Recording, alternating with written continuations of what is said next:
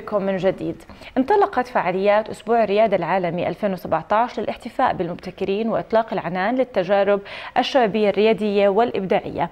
الأسبوع العالمي لريادة الأعمال هو أكبر حدث عالمي للاحتفاء بالمبتكرين ومبدعي فرص العمل الذين يطلقون الشركات الناشئة لتحقيق أفكارهم على أرض الواقع ودفع النمو الاقتصادي وزيادة رفاهية المجتمع. وخلال الأسبوع الذي ينطلق أو ينطلق في شهر تشرين الثاني من كل عام تنظم آلاف من الأحداث والمسابقات في جميع أنحاء العالم لتلهم الملايين بالانخراط في النشاط الريادي وتشبك بين المتعاونين والمحتملين والمرشدين حتى وحتى أيضا المستثمرين. للحديث عن هذا الموضوع بشكل مفصل وبشكل أكبر معنا الدكتور عبد الرحيم أبو البصل مدير مركز الملكة رانيا للريادة. حتى كمان عندنا كمان تقرير رح نعرضه خلال هذه الفقرة. صباح الخير وأهلا وسهلا فيك دكتور. الخير. أهلا فيك دكتور. أهلين. يعني أهلا يعطيكم وسهلا. ألف عافية. أسبوع مهم الكثير من الفعاليات وأيضا الاثر كان أيضا مهم على ال- المشاركين. آه، نبدأ بتعريفي شوي بمركز الملكه رانيا للريادة. وهي الفقرة إحنا استحدثناها سميناها انت وهي لتمكين النساء بشكل عام والمرأة أيضا.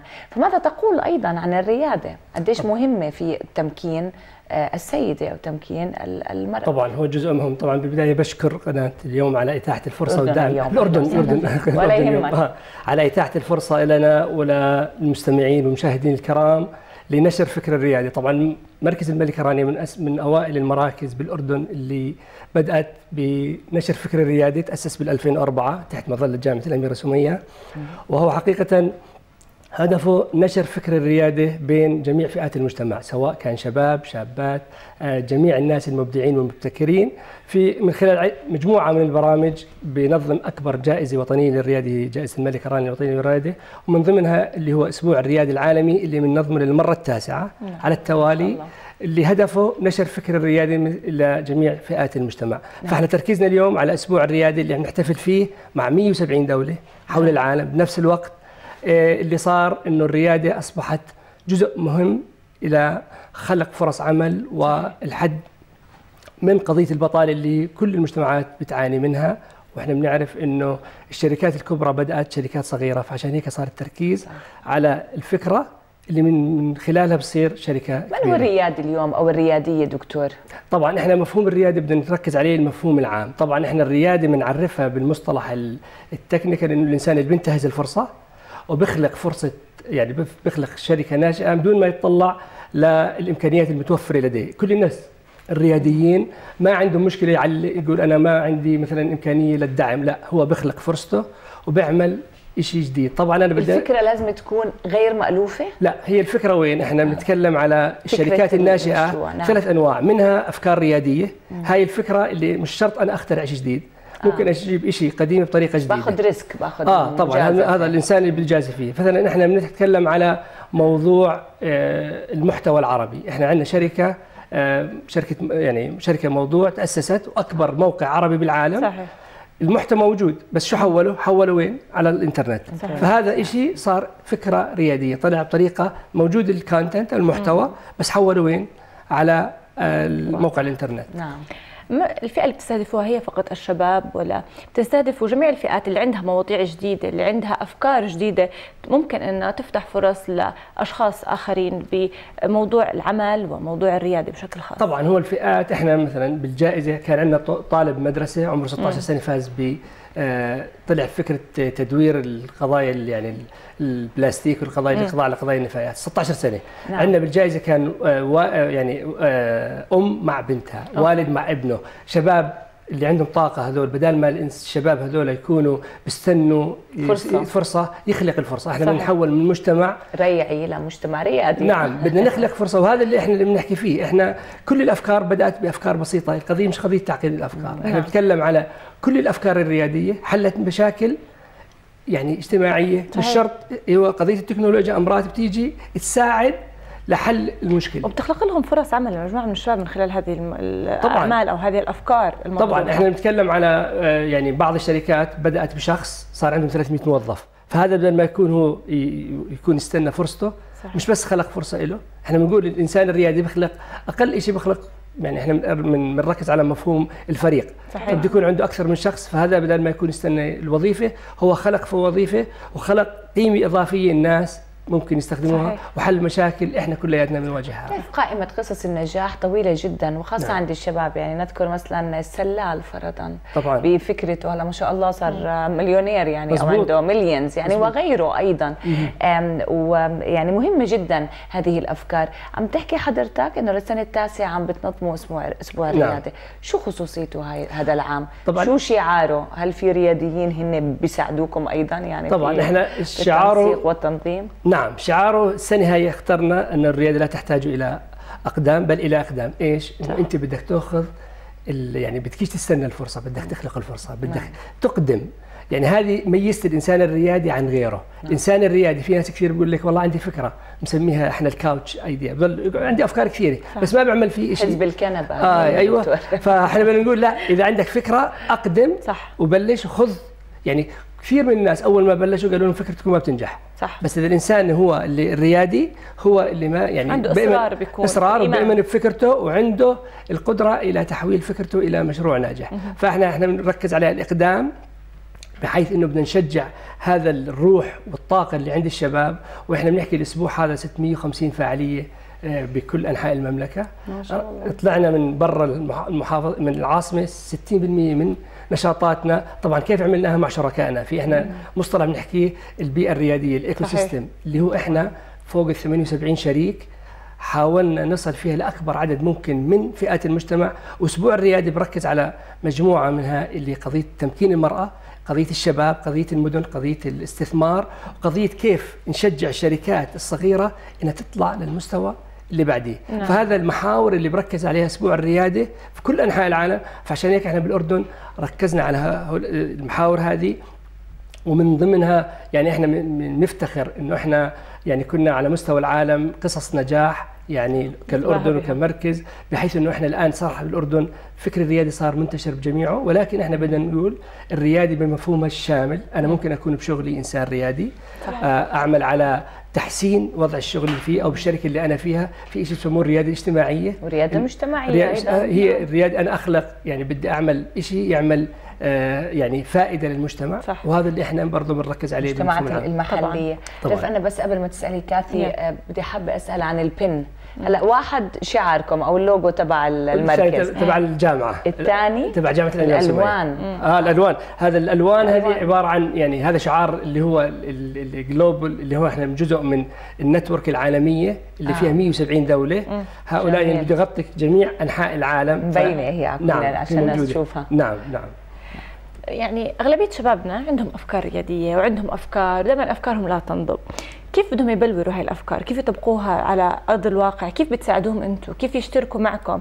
كيف بتصير هالمنافسة بين هالشباب حتى نطلع الأف... أفضل الأفكار؟ طبعا كل أفكارهم رائعة وبتكون إنه ما وصلت إلا إذا كان هاي أفكار غريبة ولكن كيف تختاروا بيناتهم؟ كيف يشتركوا معكم؟ طبعا إحنا بنحكي بالعالم كلياته إنه آه، نسبة الناس اللي بيقدموا على قضايا ريادية اللي فيها نوع من إحنا بنقول المخاطرة المدروسة، إحنا ما بنقولش أي مخاطرة،. بنركز على المخاطرة. صحيح. فإحنا حكينا من ضمن برامجنا اللي هو الجائزة اللي من خلالها ناس كثير شركة مدفوعاتكم بدأت بالجائزة وأصبحت شركة كبيرة اللي حلت نعم. مشاكل صحيح. قضية الدفع موضوع قضايا كثير من شركات جملون فتحت أكبر متجر آه، بالكتب على مستوى العرب المستوى العربي آه، كامل نعم. فهي بتبلش الفكرة إحنا عندنا برامج إحنا من- بنقول الريادي بدخل بدورات تدريبية هذا جزء من اللي إحنا بنشتغل فيه لازم يكون عنده فكرة حتى يلتحق ولا ممكن بس بس يفوت يتعرف على هذا العالم بعدين يلتقط فكرة نعم وهذا الحكي اللي إحنا السنة الماضية بدأنا فيه. إحنا قلنا مش بس فكرة إحنا بنطرح تحدي.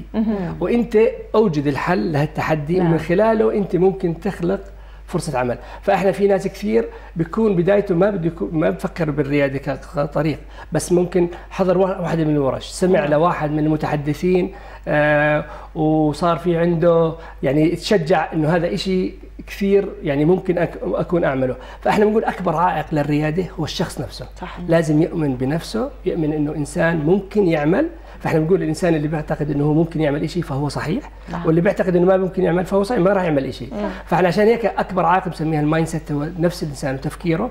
فإحنا بنقدم يعني من خلالنا ومن خلال برضه شركائنا بنقدم لهم النصح إنه أول شيء بنعطيهم التدريب الكامل كيف أحول فكرة أو أبدأ. إحنا أول شيء بنبدا فيه كيف تبدأ الفكرة. تخلق الفكرة. كيف تخلق الفكرة. نعم. شو الطرق اللي في طرق كيف أخلق فيها فرصه آه، يعني فكرة ناجحة. وبرضه حتى بنحكي بعد ما تيجي بالمراحل هاي كلياتها في نسبة إيش؟ إحنا بنسميهاش الفشل بالمصطلح اللي إحنا بنتكلم فيه. طبعا. هي أنا تعلمت بهذه. أنا لما أدخل بأول شركة بقول لك بالعالم إنه الناس اللي بدهم يستثمروا بشركات ما بيستثمروا بشركة من أول مرة. صح. بقول لك الشخص لازم يجرب أكثر مرة يتعلم بعدين أنا بستثمر فيه. فإحنا بنحكي هاي سياسة العيب والفشل بدنا نحاربها. إحنا بنقول هذه عبارة عن عملية بتساعدنا نطور نفسها نتعلم. نحكي إنه إحنا في شغلات كثيرة ما كنا نعرفنا صرنا نعرفنا. صرنا نعرف كيف نختار الشريحة المستهدفة. فهي القضايا بنركز عليها. قضايا إنه أنا كيف أكون أتقبل النقد عشان أنا ممكن أجي فكرة واحد يقول لي شوف فكرتك فيها مشكلة. ممكن أعدل على فكرتي مشان أصل إنسان ناجح بالنهاية. وهذا اللي إحنا بدنا إياه إنه إحنا نستفيد من العملية اللي مر فيها الإنسان الريادي بحيث يصبح إنسان عنده يعني يعني بصيرة بالأمور اللي ممكن process يعني هي عملية وبالتأكيد الأشخاص اللي عم بيعطوا اليوم تحليل أو تقييم أو انتقاد هم أصلا ماكلين من نفس الكأس يعني هو يمكن بلش طبعا. وأخفق في البدايات فبيجي طبعا بينصح طبعا آه هاي مسميها الشاب آه يعني مسميها فترة ال mentorship اللي هي الإرشاد. الإرشاد إحنا بنشبكهم آه. مع ناس آه يعني امبارح كان عندنا يعني مؤسس اجى على من ضمن الفعاليات الدكتور امجد العريان. نفس الشيء فكرة ريادية. آه، طبعا. يعني صيدلية موجودة بس هو. عمل نتورك فهي فكرة ريادية. طبعا. إحنا بنحكي على مستوى أمراض قضايا الأكل. أنا ممكن يعني آه، أعمل آه، أعمل طريقة معينة بعرض بنفس نفس الطبخة أو نفس, آه نفس الشيء بس الأكل بس آه بطريقة الأكل من البيوت. هاي كلها أفكار. صحيح. ممكن تكون الفئات العمرية بتركزوا على الشباب ولا كل الأعمار يعني شباب عندكم؟ إحنا بنعتقد يعني إحنا تعريف الشاب اللي عندنا اللي أقل من 70 سنة ف ممتاز. فبعدين يعني أنا بمشي حالي بمشي فإحنا بنحكي بالعكس إحنا بنحكي أصلا هو السن العالمي للرياديين حوالي 35 37 سنة. بس الشباب عندهم طاقة بنستغلها بيطلع منهم أفكار أكيد. طبعًا. رائعة. طبعا. في معنا تقرير بدنا نعرضه ونشوف عن أسبوع الريادة. نعم. تمام. بمشاركة نحو 500 شاب وشابة من مختلف محافظات المملكة وعدد من المؤسسات الريادية ورجال الأعمال. افتتح مندوبا عن رئيس الوزراء وزير الشباب والرياضة. فعالية منصة ريادة الأعمال والتي ينظمها مركز إعداد القيادات الشبابية في وزارة الشباب. هذا الأمر يتطلب منا جميعا كقطاع حكومي وقطاع خاص توفير بيئة حاضنة وداعمة للريادة تعمل على توفير مساحات آمنة للشباب لتوعيتهم وتمكينهم ودعم مبادراتهم وإطلاق العنان لطاقاتهم. الحضور الكريم. لقد دابت وزارة الشباب على ترجمة التوجيهات الملكية السامية الرامية إلى دعم القطاع الشبابي والارتقاء به من خلال وضع البرامج والخطط التنفيذية للمساهمة في بناء شخصية الشاب الأردني على النحو الذي تطمح له القيادة والوطن. بعد أن تهيأت لهم سبل العطاء من بنية تحتية متميزة من مدن رياضية وشبابية ومجمعات رياضية ومعسكرات وبيوت شباب ومراكز للشباب والشابات وأندية وهيئات شبابية ورياضية شكلت بمجملها بيئة خصبة للعطاء الشبابي المتجدد. وقطعت شوطا كبيرا في تمكين الشاب الأردني واستثمار طاقاته وقدراته وخرجت قيادات شبابية ساهمت بشكل كبير في تحقيق أوجه الإبداع والتميز بمختلف المجالات العلمية والعملية وانتشرت في المحافل المحلية والدولية بكل فاعلية وتميز. من المهم أن نتذكر أنه اليوم اللي بنستضيف تستضيف فيه وزارة الشباب منصة ريادة الأعمال هو ضمن الأسبوع الريادي العالمي اللي بتحتفل فيه حوالي 166 دولة في العالم. الآن وزارة الشباب تنهض بمهمة ريادة الأعمال للشباب لأنها تعتبر حاضنة لريادة الأعمال وحاضنة أيضا للمشاريع الصغيرة. إيه هذا مش مش غريب عن وزارة الشباب لأنه هذا منهج وزارة الشباب وأيضا يعني ممكن إيه، ننوه أنه استراتيجية الوطنية لرعاية الشباب في الأردن للمرحلة القادمة 2018 2025 تتضمن. يعني فيما تتضمن محور يعتبر يعني رائد يعني على مدار السنوات الماضية. هو محور ريادة الأعمال. كما وتضمن حفل الافتتاح عرضا لمنتجات محلية وابتكارات واختراعات نادرة بالإضافة إلى مشاركة عدد من الشباب المخترعون بهدف تحسين أعمالهم. ريادة الأعمال جدا مهمة. ليه؟ لأنها من عدة تستقطب عدة فئات آه، شبابية سواء بالمدارس وبالجامعات ومن عدة آه، برضه شباب خارج نطاق الجامعة. آه، كمان جدا مهمة إنها فرجتنا عدة تنويع. كان في تنويع بال بالأعمال سواء أعمال يدوية فكرية أعمال فنية. فبصراحة جهود مشكورة للشباب. آه، الأردني والعربي ومشكورة لوزارة الشباب أيضا. كل يوم تلتقي مجموعة من المؤسسات وفي أيضا إعطاء الفرصة للجامعات والشباب الناشطين في كل المؤسسات للاطلاع على العديد من المؤسسات اللي تعمل في مجال الريادة والابتكار. بالنسبة لمشاركة هيئة شباب كل الأردن وهي ذراع الشباب لصندوق الملك عبد الله الثاني للتنمية من خلال بوابة فرص اللي أطلقها صندوق الملك عبد الله الثاني للتنمية لإعطاء فرصة للشباب للاطلاع على كل المؤسسات سواء في مجال التدريب أو التشغيل. أيضا هيئة شباب كون الاردن من خلال مجموعة من المتطوعين للتعريف ببرامج وأنشطة الهيئة اللي لها علاقة بالشباب. من خلال 13 فرع لهيئة شباب كون الاردن وللفروع منتشرة بكل محافظات المملكة اللي بتقدم سواء في مجال التدريب التأسيسي والتدريب المتقدم في مجال التوعية والتثقيف في مجال الريادة في مجال العمل التطوعي من خلال مؤسسه العمل التطوعي. فلذلك فرصة اليوم الشباب إنهم يطلعوا على برامج وأنشطة هيئة شباب كون الاردن وصندوق الملك عبد الله الثاني للتنمية.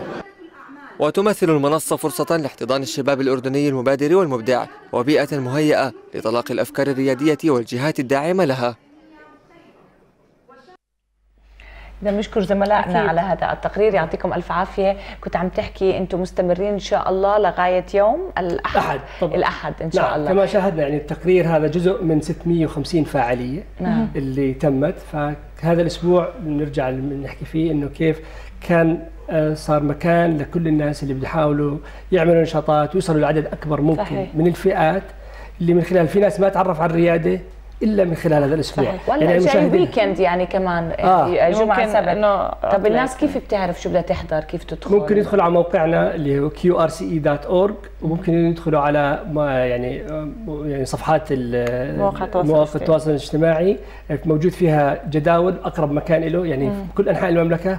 فالإنسان يستغل فرصته يغير يعمل شيء يعني غير مألوف يشوف كيف ممكن أستفيد صحيح. من يعني من حو... يعني المحور اللي بده إياه المكان اللي بده إياه الساعة اللي فيها مغطينا كل هذه الأماكن مشان نصل لعدد أكبر ممكن نعم. من الفئات اللي من خلالها ممكن هاي تكون بداية نقطة بداية لكثير من الناس أنا هلا شفت آه، كان معنا من الأشخاص اللي كانوا يتحدثوا بهذا التقرير من هيئة شباب كلنا الأردن ولمحت كمان من إنجاز وممكن كمان صندوق الملك عبد الله الثاني للتنمية. فهل هناك تشاركات مع هذه الهيئات الشعبية اللي بتساعد الشباب أنهم يوصلوا؟ يعني قد إيه إنجاز كانت بالجامعات توصل فكرتها وتعطي دورات ومحاضرات؟ حتى كانوا آه بتذكر أنه تأخذ هاي المحاضرة وأنت تروح تطرحها لمثلا المدارس وحتى إذا نعم. تجاوزت المدارس تروح بتضلك بالجامعة فبتصير كمستشار وتعطي هذه الدورات. فقد إيه فادت هاي الهيئات وهذه التنظيمات انه تساعد الشباب بالانطلاق أكثر بموضوع الريادة. طبعا يعني إحنا نحكي الآن 650 نشاط. مؤسسة إنجاز ساهمت بأكبر عدد ممكن من النشاطات خلال الأسبوع أكثر من 200 نشاط. مه. وزارة الشباب استغلوا الأسبوع هذا وعملوا أكثر من 100 نشاط. مجموعة من الجامعات المؤسسات الخيرية يعني يعني عندنا حوالي 78 شريك. مه. فإحنا بنحكي هذه يعني البيئة الريادية المتكاملة كل واحد بكمل على غيره مم. فطبعا هي أثر كبير أنا بدل ما أحكي أعطي محاضرة عادية بركز بالأسبوع هذا عن مفهوم الريادة مم. فإحنا يعني تصور إحنا الآن الآن مستمعين المشاهدين المستمعين يعني بيشاهدونا الآن الآن ممكن واحد سمع الريادة صار عنده نوع من نوع صح. الفضول صح ودخل قال أنا بدي أروح ابحث عنها أبحث عنها في ناس كثير بقول لك أنا دخلت بالجامعة وتخرجت منها وما عمري سمعت مع إنه في مكاتب لإنجاز لهيئه شباب كل الأردن وصندوق الملك عبد الثاني للتنمية موجودة بالجامعات بس ما بيعرفوا عنها ما هو عشان هيك إحنا ليش مسوي الأسبوع هذا؟ موجود يعني كل مشان نعرف بمشا... يعني إحنا إحنا جزء منها إنه الشركاء هذول يعني نعرف فيهم. بال... إحنا مش بس الأسبوع إحنا مش الأسبوع الريادي هذا خلاص وبعدين لا. كل إحنا, إحنا طول السنة يعني عاملين بالموضوع هذا بس إحنا من نعمل إبراز لهالمؤسسات ولهالنشاطات اللي من خلالها أنا بدي أوصل لأكبر عدد ممكن وإحنا بنحكي بالنهاية الناس الرياديين يجوز يكونوا 5% اللي هم بأسسوا شركات.